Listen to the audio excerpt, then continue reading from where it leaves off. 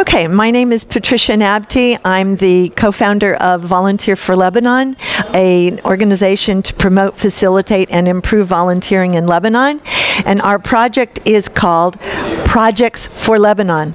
It's a program that is web-based, uh, a web-based platform to support the implementation of service projects throughout Lebanon. Uh, youth groups, clubs, corporate volunteer programs, and even just groups of friends uh, who want to do a service project can find this as a way to to facilitate their efforts. Um, they can get uh, find project ideas, host organizations and volunteers for their projects. They can get training and mentoring, and both in-kind and financial contributions. Um, and they can get feedback on their projects and public rec recognition for their success stories.